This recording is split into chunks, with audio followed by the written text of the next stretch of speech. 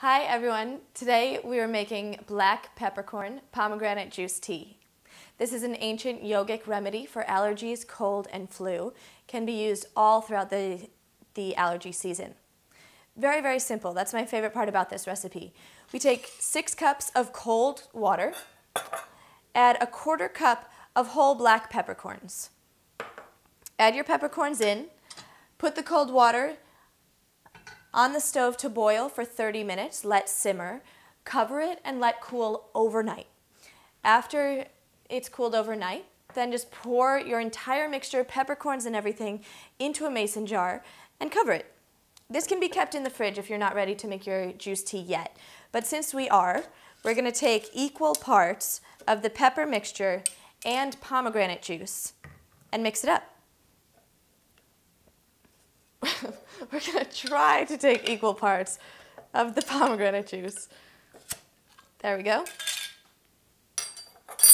So just to make it easy, I'll do a cup and a cup, but you can make as much as you need to. I'm using a strainer because we have the peppercorns still in the jar. The longer they sit there, the stronger your extraction will be. And so you can strain them out when you're ready to use it.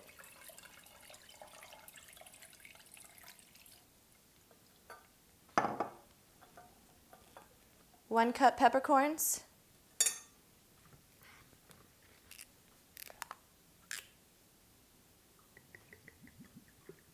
Cup of pomegranate juice. Little stir. And we're ready. I like to serve mine room temperature. You can also do it over ice.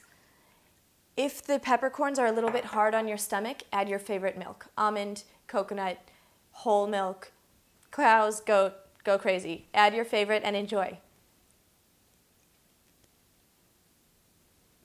It really is good.